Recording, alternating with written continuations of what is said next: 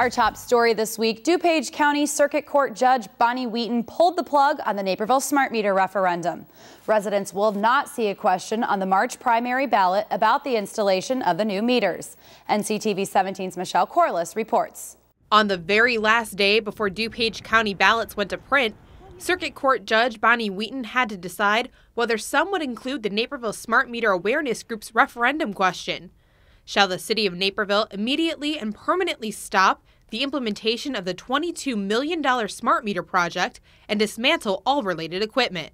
The judge ruled the decision of the Municipal Officers Electoral Board for the city of Naperville was correct and is affirmed. So the question will not be on the ballot. I mean, of course, I'm disappointed in the decision. I think the judge got it wrong. You know, that's um, that, that's life. In circuit court, the anti smart meter group's attorney argued the board invalidated signatures behind closed doors, and therefore their decision should be overturned.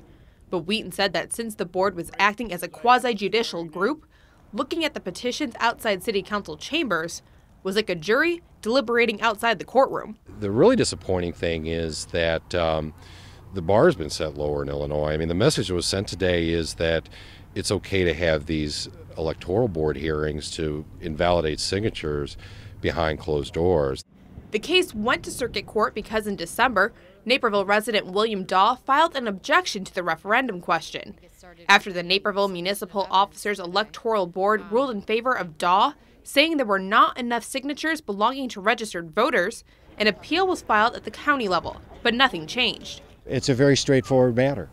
You know, the law is very clear. You have to have enough valid signatures from residents of Naperville at those addresses in the city of Naperville that are registered voters. For almost a year, the Naperville Smart Meter Awareness Group has been spreading their views about the city's new electric system. They worry about the new meters for several reasons, including cost, personal privacy, and health.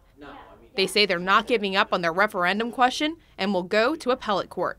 Reporting from Wheaton, Michelle Corless, Naperville News 17. The Naperville Smart Meter Awareness Group has also filed a federal lawsuit against the city regarding Open Meeting Act violations. They expect to be in court for that case in March.